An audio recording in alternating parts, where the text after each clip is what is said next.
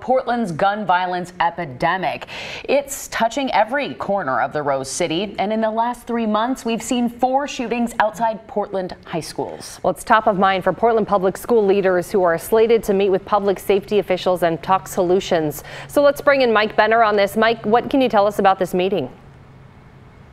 Yeah, Ashley, I can tell you that's scheduled for tomorrow morning at PPS headquarters in North Portland. Superintendent Guadalupe Guerrero and several school board members will sit down with Portland's police chief and Multnomah County's sheriff and district attorney, as well as other civic and public safety leaders, to talk about the gun violence impacting our city's kids. This is an issue that is troubling to so many, including the Portland Business Alliance. In fact, just this morning at the downtown Hilton, the Business Alliance invited the police chief, sheriff, and DA to its monthly breakfast to discuss the issues plaguing Portland, and that includes gun violence. You have to keep in mind gun violence accounted for a large number of the record 96 homicides in Portland just last year. Portland Police Chief Chuck Lovell did not mince words. He said there are a lot of guns on our streets.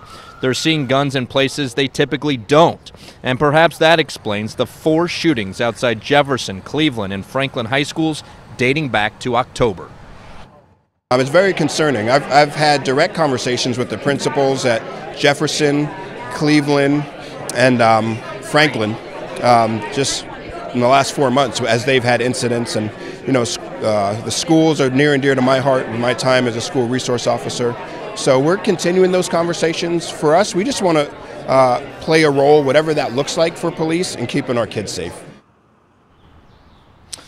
Again, Portland Police Chief Chuck Lovell will join 14 others at PPS headquarters tomorrow morning, and they'll be discussing the alignment of resources, collaboration, and holistic solutions when it comes to gun violence.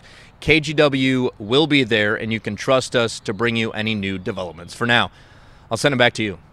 All right, Mike Benner, thank you so much.